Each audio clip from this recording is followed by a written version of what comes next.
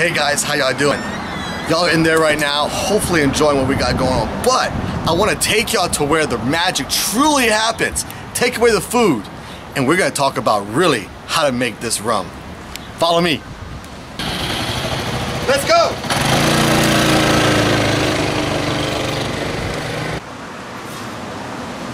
So we're here. I call it the Bat Cave of the only micro distillery in Acadiana. Do you know where it's at? No, you don't, but I do. And we're here. This is where, as they say, it happens.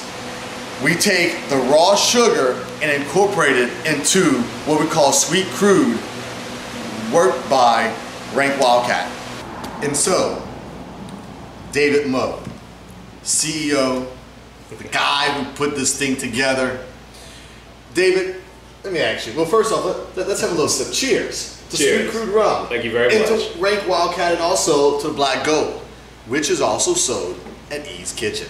So, with being said, cheers and mm, to think that this product all started with an idea of some friends getting together and saying, what if? David, tell us about the what if.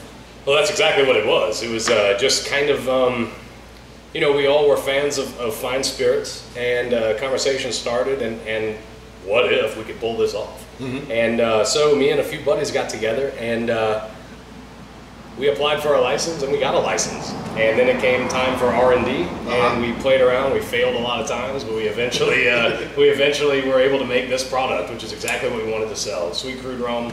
Um, it's really, there's no other white rum quite like it out there. Now, now, David, for those who are right now enjoying probably the shrimp, which I know you're enjoying that shrimp, let us know this kind of rum was the type of rum that pirates actually used back in the days of piracy. it was not the Bacardi, ladies and gentlemen. Those commercials are false. It was this kind of rum. It came from around Haiti, right? That that area. Well, if we're getting back that far, Okay. uh, the important distinction is going to be between British style rum and French style rum. Okay. The, the, the British colonists in the Caribbean realized that uh, uh, blackstrap molasses, which is the byproduct of sugar processing, it's a very low utility product. Um, you can't really do very much with it, Right. But it had enough residual sugar that it would ferment, and if it'll ferment, it can be distilled. So English style rum is made from blackstrap molasses. Then the French came along and they decided to make their rum from sugarcane juice itself, which is the front end of Okay. sugar processing.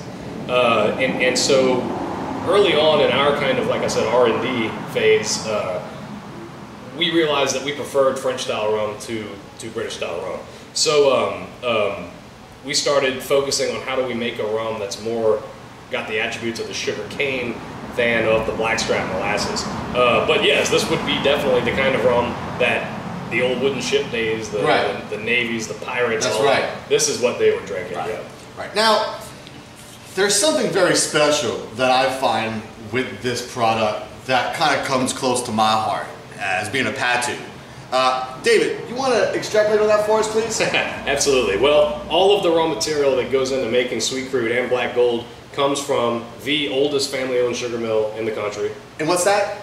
M.A. Patout and Sons. I love, I love when he says that. in in wait for it, Patoutville, Louisiana. which is about 20 miles, 30 miles south That's of correct. Lafayette, Yes. uh, towards the Gulf. It's um, uh, still in the heart of Acadiana, which, as everyone knows, is Cajun country. Um, and uh, uh, yeah, it, it, it uses sugarcane that's harvested all around us, which is which is a major point of pride for, for my operation.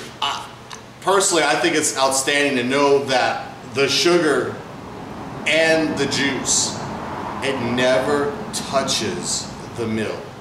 He takes it before it even takes on a journey to become what our sugarcane products become. He takes that raw and makes this. I mean, truly a true Louisiana product, but we're happy to say an Acadiana product. David, thank you for having us here. Thank you for allowing us to be a part of this, and we look forward to talking to you soon. Absolutely, always a pleasure, Alex. Thank you.